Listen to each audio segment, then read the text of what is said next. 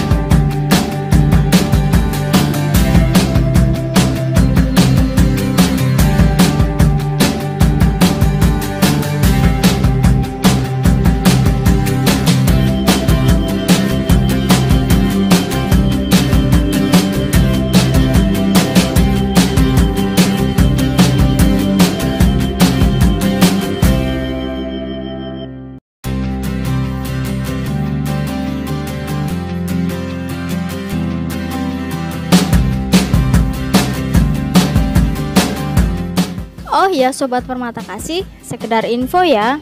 Kita harus melakukan swab test atau PCR untuk bisa berkunjung ke Provinsi Papua. Karena pemerintah daerah Papua menerapkan peraturan hanya pengunjung yang membawa hasil swab test atau PCR yang bisa masuk ke Provinsi Papua.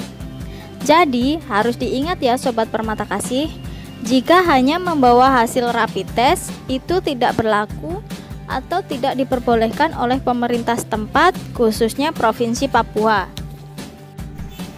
Hai Sobat Permata Kasih, hari ini kita ada pengantaran babysitter untuk penempatan di Papua. Yuk langsung aja kita OTW.